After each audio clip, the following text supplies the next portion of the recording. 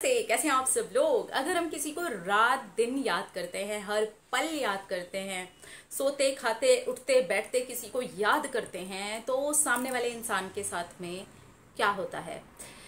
मैं याद के ऊपर बहुत सारे वीडियोस कर चुकी हूँ और इस बात को मैं बहुत ज़्यादा डिटेल में शेयर करती हूँ। आप सब लोगों ने इस बात का एक्सपीरियंस भी किया होगा, जिसे आप बहुत ज़्यादा याद करते हैं, हर पल याद करते हैं, हर क्षण याद करते रहते हैं।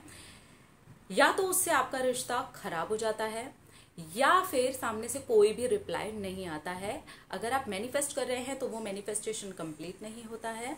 और अगर वो ऑन एंड ऑफ़ मोड पर चल रहा है, या ऑलरेडी थोड़े से खराब मोड पर चल रहा है, और उसे आप कंटिन्यू याद कर रहे हैं कंटिन्यू वो चीज़, वो इंसान, वो रिश्ता आपके दिमाग में चल रहा है तो वो और ख़राब और ख़राब और ख़राब होता चला जाता है। हालत बद से बदतर हो जाती है। तो ये क्या है? और कैसे काम करता है? आज इस पर बात करते हैं, ठीक है? जिस भी इंसान को आप रात दिन याद करते हैं तो आप क्या करते हैं? अभी आप खुद ही इस बात का जवाब जान जाएँगे कि आप क्या करते हैं।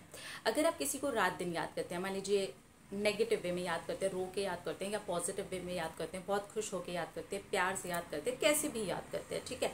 लेकिन आप कंटिन्यू याद कर रहे हैं। एक तो होता है कि हमने बहुत पॉजिटिव वे में याद किया और छोड़ दिया और एक होता है हम कंटिन्यू याद करें तो आज जो हम बात करें वो कंटिन्यू याद करने की कर रहे हैं कि हम कंटिन्यू याद कर ही रहे हैं, तब क्या होता है? तब आप क्या करते हैं? आप मैसेज टाइप कर रहे हैं।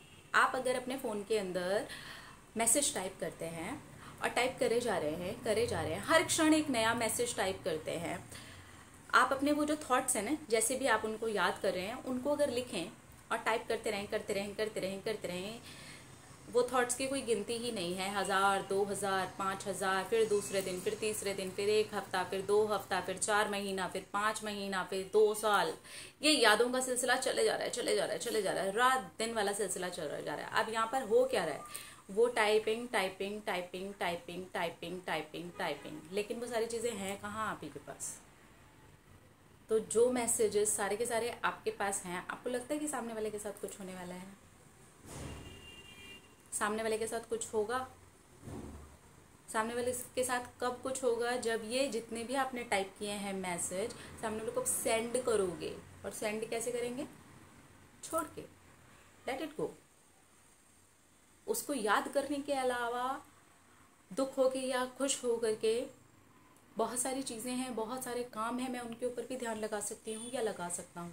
बार बार ध्यान भटकता है, लेकिन फिर भी हम उन चीज़ों पर बार बार ध्यान लेकर के जाएँगे। तो धीरे धीरे प्रैक्टिस से क्या होगा कि आप सेंड करना सीख जाएँगे, आप छोड़ेंगे, तब जा कर के सामने वाले के साथ कुछ होगा।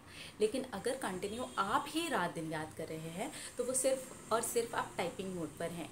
Typing and typing and typing and typing and typing सामने वाला अगर एनर्जी रूप में कभी आपको देखता भी होगा तो उसको ये नज़र आता होगा कि टाइपिंग टाइपिंग टाइपिंग टाइपिंग आप खुद देखिए कि अगर आप किसी के साथ में चैटिंग कर रहे हैं, बात कर रहे हैं और वहाँ पे टाइपिंग शो हो रहा है कंटिन्यू टाइपिंग ही शो हो रहा है, एक दिन, दो दिन, तीन दिन, चार दिन, दो महीना, चार महीना, दो साल तो क्या करेंगे आप?